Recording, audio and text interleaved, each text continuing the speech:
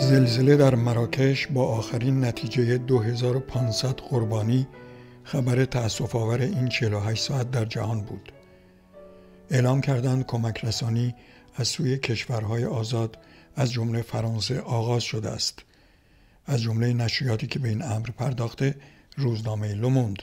اما همین روزنامه در صفحه اولش خبر داده که دو صفحه داخلی را به انقلاب ایران اختصاص داده است امری که در جشنواره خبرنگاران عکاس ویزا پوغلیماژ در پخبینیان آنجا هم سالونی به انقلاب ایران اختصاص داده شده بود. جشنواره سالیانه به کار خود پایان داد. جایزه امسال به یک عکاس ایتالیایی انگلیسی زیگفرید مدولا داده شد. عکسهایی که او از شورشیان بیرمانی تهیه کرده بود. اگر در اطراف شهر پرپینیان هستید نمایشگاه تا یک شنبه آینده دایر است. همچنین ابراهیم نوروزی عکاس آسوشیتد پرس برای عکسهایش در افغانستان جایزه گرفت. نام نمایشگاه او افغانستان غمگین ترین کشور جهان.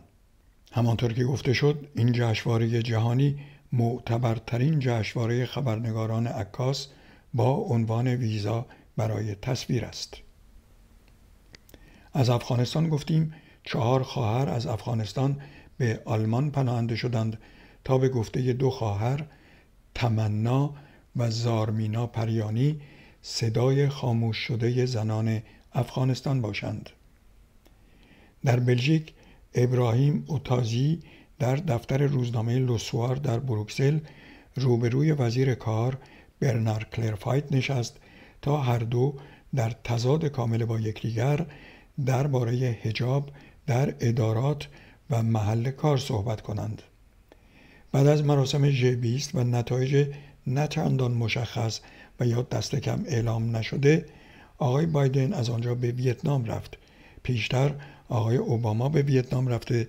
تمام تحریم های تسلیحاتی علیه ویتنام را لغو کرده بود. حالا امروز اعلام شد ویتنام به مبلغ 7 میلیارد و 800 میلیون دلار از بوینگ امریکا هواپیما خریداری می کند.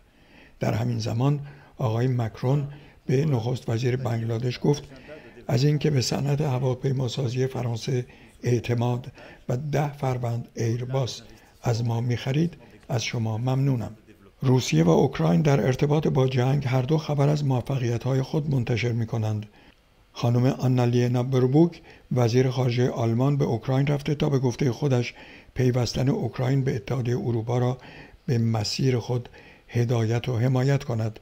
او گفت اوکراین با شجاعت تمام آزادی و آزادگی همه ما را دفاع می کند. این چهارمین سفر او به اوکراین به حساب می آید. در حالی که در امریکا یک جنایتکار از زندان فرار کرده و پس از یازده روز هنوز دستگیر نشده بریتانیا جاسوسی را که برای جمهوری اسلامی جاسوسی و سه روز پیش از زندان گریخته بود دوباره دستگیر کرد.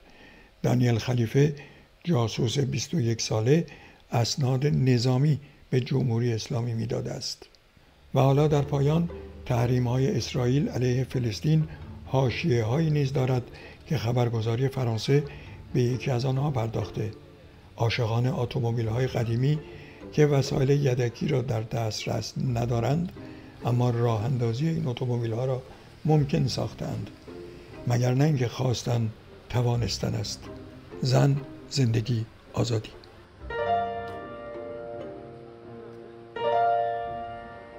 اكيد هو كان في معوقات في في الشغل وانا بشتغل فيها لانه مش موجود القطع الاصليه مش موجوده